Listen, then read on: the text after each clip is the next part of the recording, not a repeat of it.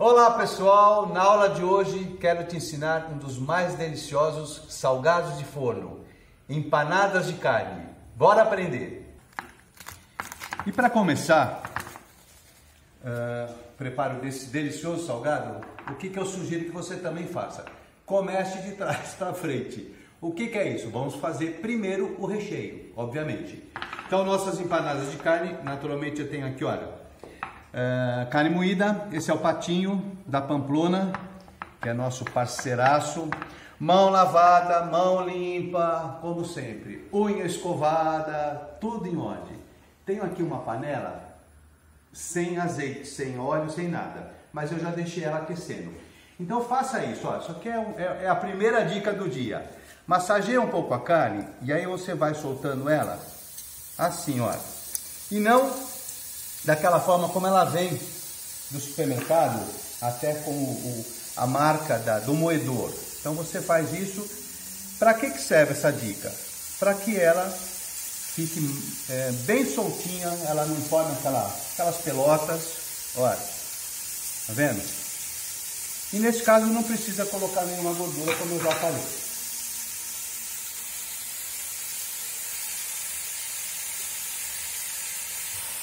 Mão lavada está aqui. Naturalmente você pode trabalhar com uma colher como essa ou a que você tiver. Mas quando você encontrar, olha, um amassador de batata como esse, não é muito caro não, gente. Isso daqui tem muitas funções. E uma delas, na minha opinião, que eu adoro utilizar, é para a gente refogar a carne moída. Por quê? Porque é rápido, é eficiente ele vai que é uma beleza, não fica aquelas pelotas grandes, ao, ao invés de você ficar né, sempre virando a carne, que dá certo também. Mas ó, se você reparar, eu já estou com, com ela começando a se soltar completamente. Quero só te mostrar uma coisa, ó, toma bastante cuidado quando você estiver fazendo isso. Mostra aqui para nós, câmera, ó. Olha como está pertinho aqui, olha, para você encostar o seu braço aqui não é difícil. Então tenha esse cuidado para não, não sair do preparo dessa empanada maravilhosa com o braço queimado. Olha, tá aqui. Você viu que a panela estava quente, a gente salteou daquela forma que já mostramos a carne. Esperei um pouquinho e ela rapidamente, olha, está refogada. Vou mostrar o fundo, olha, não grudou nada, não formou líquido. Se formar uma aguinha, você deixa secar. Então essa é a nossa primeira etapa. Começando então o nosso recheio oficialmente, olha. Óleo de milho ou azeite, aloura o alho, já coloca a cebola, bem rápido para ele não queimar, não é? Tá aqui. Vamos colocar também um pouquinho de sal, para que a cebola refogue mais rapidamente, não solte água. Aqui mais ou menos um minuto e meio, dois minutos, só para ela dar uma, uma murchada. Cebola refogada, olha lá gente que bacana. Pimenta dedo de moça, como nós já falamos, né? Olha, essa daqui é bem picadinha, sem semente. E aí você coloca uma pequena porção, dobra, fecha e congela e a hora que você precisar você tem a pimenta fresquinha, porém congelada. Agora aqui, olha, pimentão verde e pimentão vermelho. Aí você vai falar, ah, eu não gosto de pimentão. É, então já vai ficar mais complicado. Porque esse, esse é um salgado, nós sabemos, da América Latina a gente tem empanadas chilenas, empanadas argentinas, uruguaias, eh, bolivianas também, todas elas deliciosas, cada uma com o seu segmento, digamos assim. E é um salgado que nós brasileiros já encontramos, já nos apaixonamos por ele e vende muito. Então é sempre a opção do faça e venda ou de você deixar de comprar e preparar para sua família. Sabe aquele sábado gostoso? Fala assim, ah, vou fazer hoje uma, uma fornada de empanadas de carne para a gente jantar. Hoje não quero fazer janta, vamos comer empanadas. Então essa é a ideia. Depois vou te falar também com relação a apreço e tudo mais. Essa parte inicial eu vou dar só uma outra refogada, olha, por mais uns dois minutos e a gente vai na sequência. Olha, só uma refogada mesmo, viu gente? Eu vou desligar o fogo só para te falar sobre os próximos ingredientes. Uh, por exemplo, o argentino usa um, um, tempero mais picante chamado arremolido, que a gente até encontra aqui, me parece que a Bombay tem, mas fica a seu critério. Eu vou usar também da Bombay, olha, páprica doce e páprica picante, tá? Aí você fala, mas vai ficar muito, muito picante, muito apimentado? Já tem a pimenta dedo de moça? De jeito nenhum, nós já fizemos muitas vezes, é um salgado realmente delicioso dê uma chance de uh, descobrir essas novas culturas, esse, esse, uh, esses novos pratos, digamos assim, né, para você incluir nos seus cardápios. Ingrediente secreto, ingrediente polêmico. Não é uva passa, mas é o cominho. Na verdade, vou te falar, quem me ensinou, porque eu, eu tô sempre querendo aprender e muito, a gente morre sem aprender nem 1%, graças a Deus, não é? foi minha amiga querida Marcela Sanches, que é uma cake designer argentina, uh, que esteve muito próximo né, de nós aqui no nosso convívio da escola durante muito tempo. E um dia ela falou assim: Quero te ensinar é, a fazer empanada argentina. E aí separamos os ingredientes e ela disse assim: Não, não, não, não pode. Tem que pôr o ingrediente principal. Se você não gostar, depois você não põe. Qual era o ingrediente principal? que eu particularmente não gostava. E ela me fez gostar a partir daquele dia. olha que loucura. É esse aqui, olha. Cominho em pó. Aí você fala assim, mas de jeito nenhum, não vou pôr mesmo. Tudo bem, não põe. Não tem problema. Então tá aqui, olha. O cominho que não vai ficar forte, não vai, porque a gente, a gente às vezes tem, tem receio, né, de colocar temperos inovadores. Começa colocando só um pouquinho, se você gosta mais ou menos, aí você vai, vai, você vai se acostumando com o sabor. Não quer de jeito nenhum, não coloca. Azeitonas, ó, azeitonas verdes. O tomate, eu uso muito tomate pelado. Eu compro uma lata bem grande, acho que de 2,5 kg. Então eu tenho aqui tomate pelado, olha, com aquele caldinho que vem. Se você não tiver esse, não tem problema, pode pôr um molho de tomate, é, feito por você mesmo ou um comprado que você goste, um pouco mais de sal só para temperar é, o pimentão. E agora a gente já coloca a carne moída. Ó, tá aqui. Esse tomate vai começar a desmanchar, que é o que a gente quer. Vai soltar uma aguinha, o pimentão continua soltando água e aí a gente vai deixar cozinhar agora por uns 10 minutos. Olha que recheio lindo, que coisa mais saborosa. Ah, mas não tem coisa demais? Tem nada, tem o suficiente para você que está me assistindo se deliciar com esse salgado espetacular. Eu espero que você esteja curtindo esta receita muito saborosa.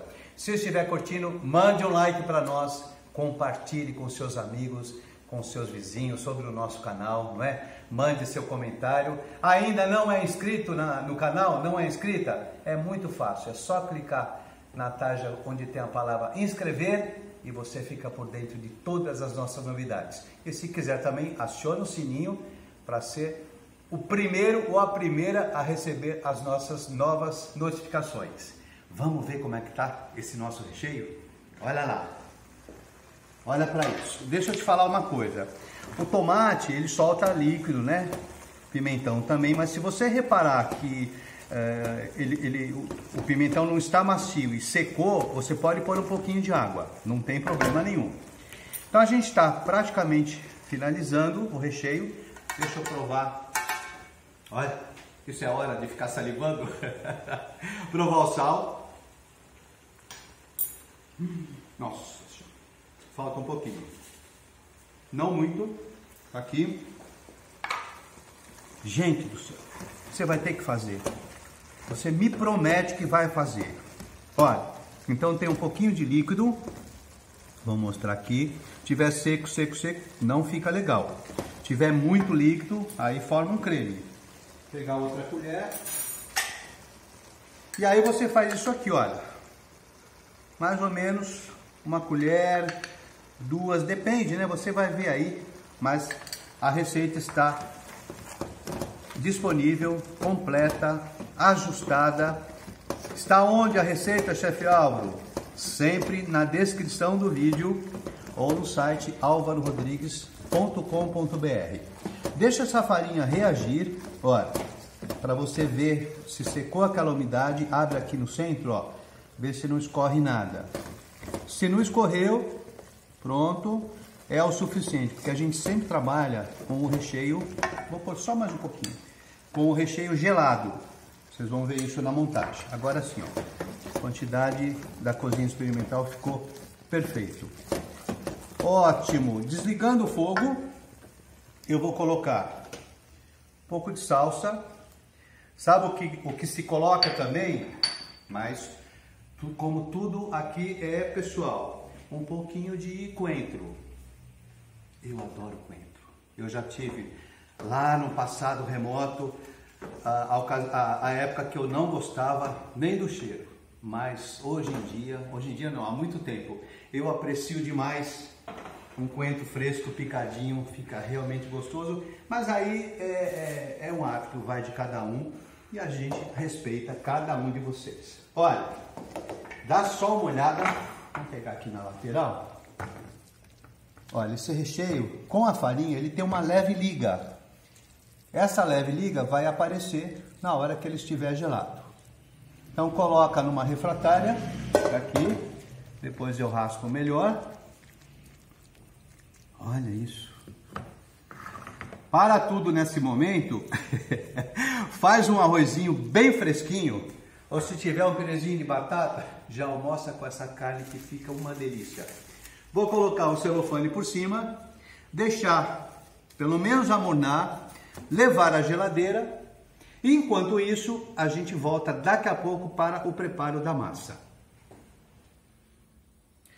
Sabe aquele caderno de receita todo especial, aquele que você tem e aquele que você ainda gostaria de ter? Eu estou falando desta apostila linda, olha, coleção de ouro, as 50 melhores receitas dos primeiros 25 anos da escola do chefe Álvaro Rodrigues. Já mostrei várias vezes, eu falo sempre, ele está acabando e se você reparar, olha, tem de tudo um pouco. 25 receitas doces, 25 receitas salgadas, muito variado, olha gente, muito, muito, muito. E se você tiver interesse, além dessa linda encadenação, fale conosco 011 95551 0698. Vale muito a pena. Isso daqui vai ser um um manual para você aprender um pouco mais e um pouco de tudo entre doces e salgados, porque a variedade é muito grande. Agora, olha para mim. Presta atenção nessa massa. Você pode fazer torta grande, torta pequena, empadão, forrar com essa massa um, uma quiche, tudo fica espetacular. Outros formatos de salgados de forno e ela é muito peculiar, muito diferente. Guarda na, na, naquele cofrinho que tem aquela chavinha, guarda essa receita lá para você fazer muito sucesso. O que, que eu tenho aqui? Farinha de trigo. Tá, não mudou nada. aqui eu tenho, olha, eu, eu neste caso eu prefiro usar o fermento seco. Prefiro Normalmente eu uso também uh, o fresco. Não é que você não possa usar o fresco. Então eu tenho aqui meio envelope daquele que a gente compra. Aqui sal e açúcar. Então vamos colocar os secos.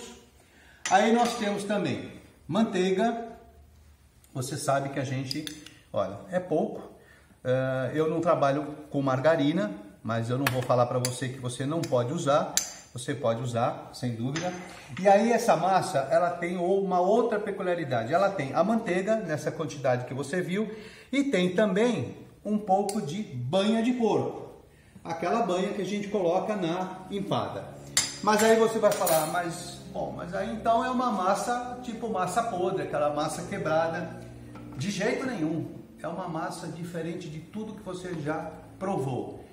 Uh, não gosto de jeito nenhum da banha, não uso. Então faça a receita toda, soma manteiga e banha e coloca de manteiga, ok? A gente vai pulsando até formar uma farofa úmida desses ingredientes.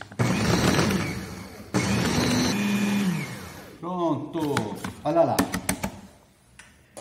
Não tem o processador, chefe Álvaro? Não tem problema. Coloca tudo numa tigela, numa bacia de cozinha bem confortável e com a ponta dos dedos vai esfarelando as gorduras com os secos e você chega nesse mesmo ponto. Sabe por que, que eu estou fazendo essas aberturas? Porque eu sempre gosto de distribuir os líquidos. Aqui eu tenho o ovo, aqui eu tenho o seguinte, olha que interessante, iogurte. Eu coloquei diretamente do copinho aqui, então ele tem esse soro que faz parte dele. Então eu vou pegando esse iogurte e eu vou pondo nessas lacunas. Sabe o que isso significa? Que você não vai ter aquela massa muito úmida de um lado e meio seca do outro lado e você tem que bater além da conta. Então ela se distribui de uma forma muito uniforme e a sua massa fica pronta mais rapidamente. Aí uh, você viu que eu pus iogurte. Quem sabe naquele dia você não tem um iogurte. Então você coloca leite, sem problema nenhum. Uh, se você reparar, a gente tem um peso lá no copinho do iogurte, não é? E para essa receita eu preciso de 200 ml de líquido. Então a gente tem 170 do iogurte, que eu completo, isso para não abrir outro copinho e ficar aquele segundo copo de iogurte na geladeira parado. Olha, eu completo com leite. Isso tudo está na receita também bem detalhado como dica para vocês. A receita na descrição do vídeo ou no site alvarorodrigues.com.br. Ligou, girou, a massa está pronta. Vamos lá.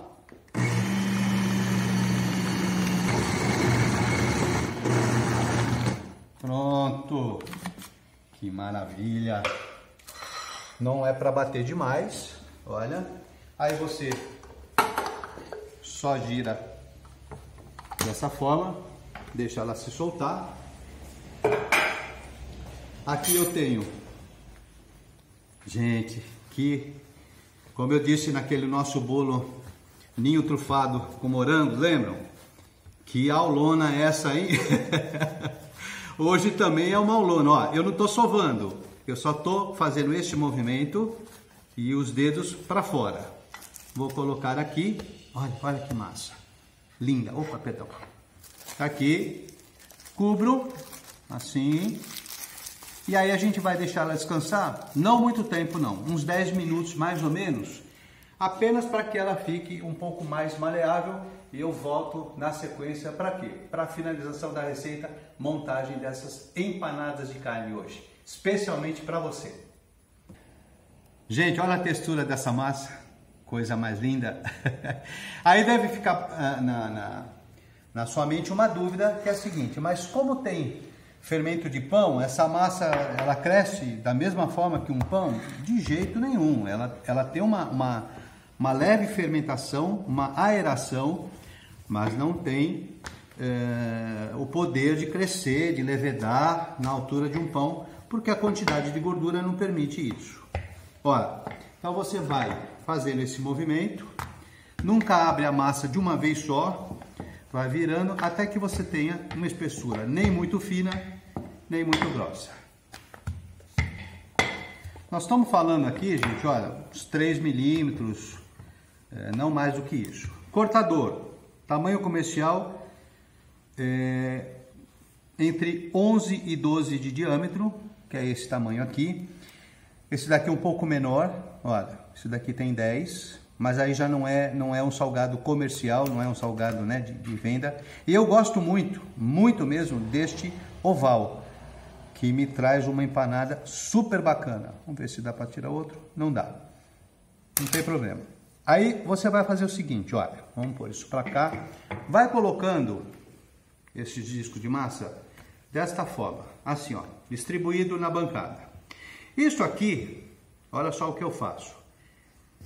Faço este movimento, pego um pedaço da massa nova, coloco por cima, olha lá, ficou por baixo.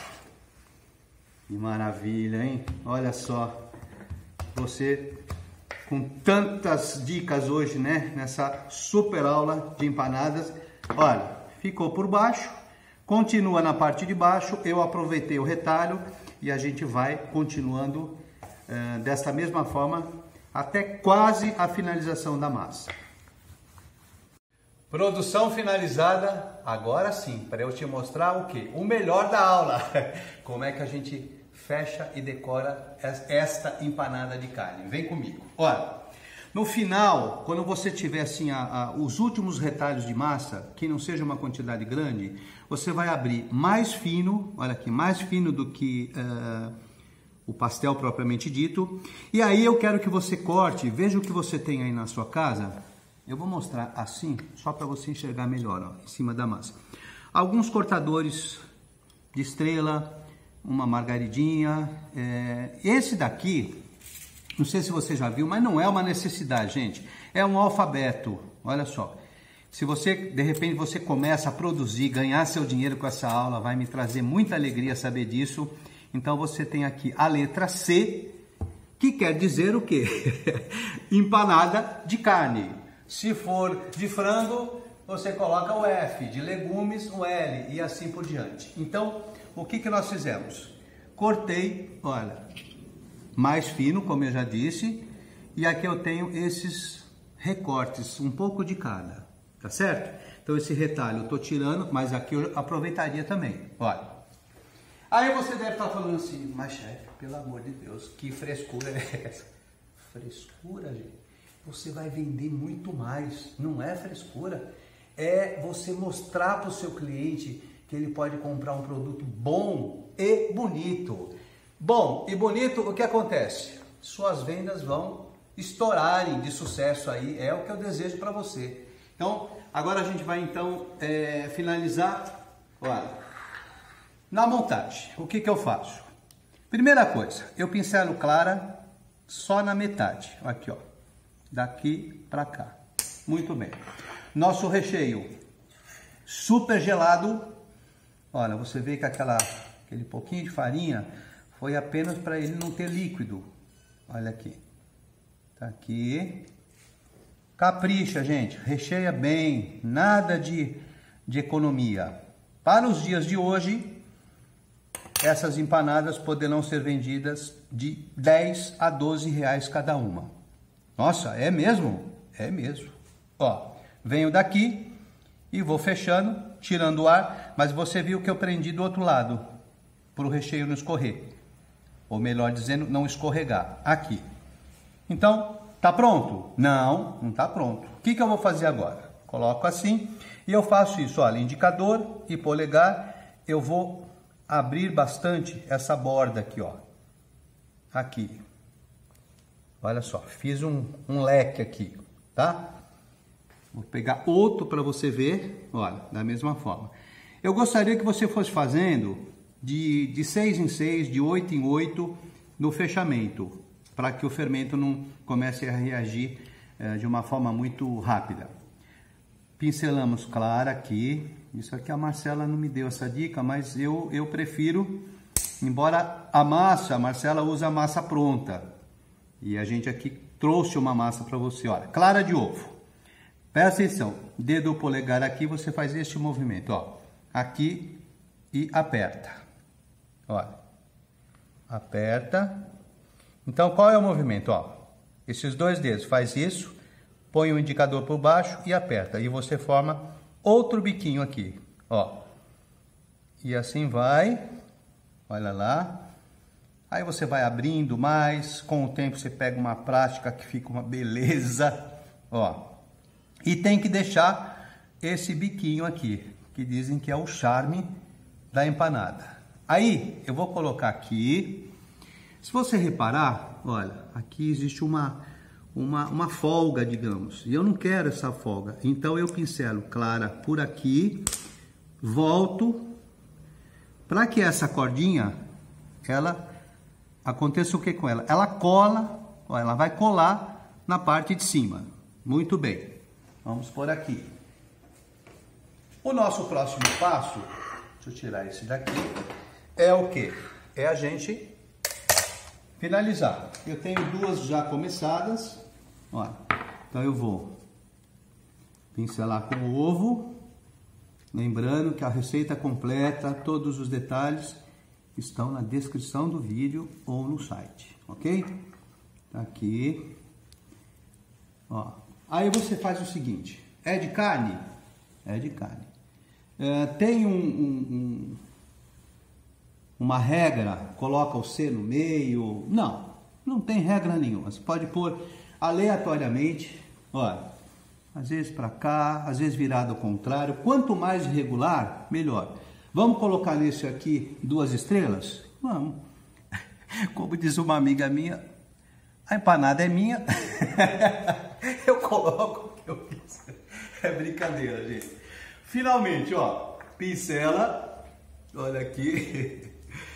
Ai, ai, ai. Mas fala, isso aqui, quando sai do forno, isso tem um brilho, isso tem uma, uma, uma, uma aparência tão, tão apetitosa, tão convidativa, que eu acho que de repente esse salgado, sei lá, hein, pode mudar a vida de muita gente. Chaminé, opa! A gente não quer que ela estoure toda, né? Por quê? Porque o recheio vai estufando, vai crescendo a massa junto, mas ela não consegue abraçar todo o recheio e aí ele se parte e fica uma empanada feia. Então aqui ó, um palito de churrasco, um palito é, de pirulito, qualquer um desse ou um, um espeto desse, você vem em uma das decorações e faz isto aqui, bem aberto, ó, que é o que? É uma uma abertura. Olha, de preferência a do meio. Tá aqui, olha lá. E aí você vai fazendo todas elas, olha só, leva para o forno pré-aquecido a 180 graus e aí eu volto para te mostrar como é que ficaram essas deliciosas empanadas. Eu vou e volto rapidinho. Estamos chegando ao final de mais uma aula. Como eu costumo dizer, hoje foi uma aulona mesmo, não foi? Eu, pelo menos, gostei bastante. Uh, deixa eu te dar um recado antes da gente encerrar. Nós temos aqui na escola um curso especial chamado Forneria de Empanadas, onde a gente tem 12 vídeos, eu mesmo preparando o passo a passo aí com muito mais detalhe para vocês, modelos diferentes, sabores diferentes, uma de cada país e naturalmente esta que a gente está trazendo hoje não faz parte desse curso. São 12 vídeos, três vídeos para o preparo de cada uma delas. Se você tiver interesse, fale conosco pelo nosso WhatsApp 11 95551 0698. Vale muito a pena para você se especializar nesse assunto. Vamos ver essa belezura? Olha, olha como é que está isso. Olha a produção de hoje. Que maravilha. Molinho de pimenta. Aqui eu tenho um chimichurri. Então são coisas que você pode fazer, né? Ou outro molho que você queira. Olha, mais douradinha, menos douradinha. Mas vamos, vamos mostrar, olha, olha que, que beleza isso. Quer ver? Nossa, tá quentinha ainda. Ainda, além de tudo, tá quentinha. Vem comigo, olha lá. Hum. Hum. Olha, gente. Meu Deus do céu. Pôr uma pimentinha daquelas danada Olha, deixa eu falar para vocês. A delicadeza do tempero é, é, é, é o que mais traz uma elegância para esse salgado. Tempero como cominho, tempero como pápricas, tudo se harmoniza de uma forma muito espetacular. Uh, a carne úmida, saborosa, muito bem temperada. Agora, o que falar desta massa? Minha gente, essa massa é um sonho. Como eu te disse, eu quero que você guarde ela com muito carinho. E sabe o que eu mais desejo para vocês, o que eu mais fico feliz? Quando você faz sucesso. Porque eu, eu, eu sempre disse isso durante a minha carreira toda. O meu sucesso vem depois do seu. Então, eu me despeço com essa delícia desse salgado, que agora a gente faz um café e vamos fazer a festa, como sempre, não é? Desejando que você esteja sempre conosco, nos acompanhando. Até a nossa próxima receita. Um beijo no coração de cada um. Marcela Sanches, um beijo grande para você e para o Nico. Fiquem com Deus também. A gente vai se falando. Gente, então até a próxima receita que vem coisa muito boa. Tchau, até mais.